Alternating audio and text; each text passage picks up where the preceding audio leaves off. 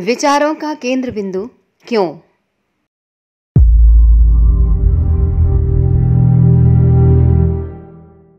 जीवन एक विकट समस्या है। इसमें न जाने कितने उतार चढ़ाव आते हैं और स्मृति में विलीन हो जाते हैं।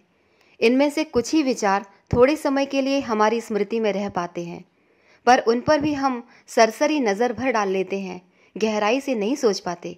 अन्यथा जीवन सबसे अधिक अध्ययन का विषय एवं ज्ञान का भंडार है। जीवन की प्रत्येक घटनाओं के पीछे कार्य कारण परंपरा का अद्भुत रहस्य छिपा है।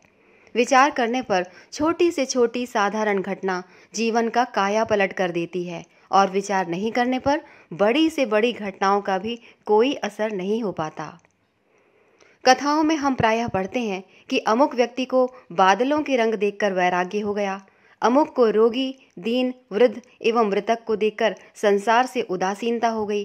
पर हम इनको रात दिन देखते हैं, फिर भी हम पर इनका असर नहीं होता। आखिर ऐसा क्यों? इस पर विचार करना आवश्यक है। एक घोर पापी किसी महात्मा के एक उपदेश वाक्य से सजग हो उठा, पर हमने उनके वाक्यों को अनेक बार पढ़ा और मनन किया, फिर भी कोई परिवर्तन नहीं हुआ। एक ही बात एक को भोग की ओर आकर्षित करने वाली होती है और दूसरे को त्याग की ओर। इससे स्पष्ट है कि वो शक्ति घटनाओं में नहीं, हमारे विचारों में ही है। विचारों से ही मनुष्य बनता है और उन्हीं से बिगड़ता भी है। अतः जीवन की हर एक समस्या हर एक घटना पर चाहे वो कितनी ही तुच्छ और साधारण क्यों न जान पड़े, मनन करना आवश्यक है। उसका महत्व समझना आवश्यक है।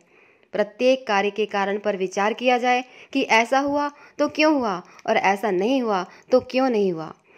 अमुक मनुष्य कार्य कर सकता है तो मैं क्यों नहीं कर सकता? उसमें और मुझमें किन किन बातों का क्या अंतर है? मेरी और उसकी कार्य प्रणाली में कहाँ सामंजस्य है? कहाँ विषमता है? मेरी त्रुटि कहाँ है? मैं कैसे वैसा कर सकता हूँ या बन सकता हूँ? मैंने अमुक समय में वो कार्य किया तो क्यों किया?